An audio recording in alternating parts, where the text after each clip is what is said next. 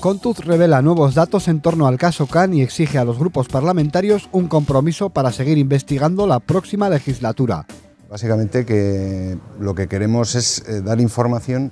que puede marcar un poco las claves de por qué está ocurriendo lo que está ocurriendo tanto en la fase judicial de, la Audiencia Nacional en torno al caso Can como en la Comisión de Investigación del Parlamento. La última información que ha llegado de la Audiencia Nacional por parte de la Fiscalía, pues lo que dice la Fiscalía de la Audiencia Nacional es que esa información la tiene el Grupo Criteria, que es el propietario al 100% de las acciones del grupo empresarial que era de la Caja, y el director de, Criteria pues es, nada más y nada menos que Enrique Goñi, que es uno de los imputados en esta causa. Alguien tendrá que responder porque cuando menos es extraño que quien está imputado en la misma causa sea el que controle esa información que no acaba de llegar. Y por otro lado, desde la Fundación, pues tenemos que decir que la Fundación ha enviado una carta al Parlamento diciendo que quiere colaborar, pero al mismo tiempo que no va a colaborar de alguna manera porque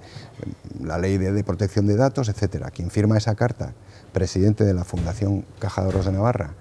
nombrado por el gobierno de Yolanda Barcina, no es otro que el señor Giraldez, que a su vez es cuñado de José Antonio Sarría. Nosotros lo que nos parece es que todos estos hechos pues, vienen a ratificar una vez más que, que las investigaciones no avanzan, pues, en parte porque la información no llega. Ya lo vivimos cuando la juez Maripaz Benito tuvo que enviar cuatro veces a la Guardia Civil a la caja de ahorros para ver qué ocurría y seguimos en las mismas, con lo cual desde Contus lo que exigimos a los grupos parlamentarios es que se comprometan a seguir con esta comisión después de eh, en la siguiente legislatura, porque en esta es obvio que no va a dar tiempo y que además no hay tiempo material y que además no llega la información.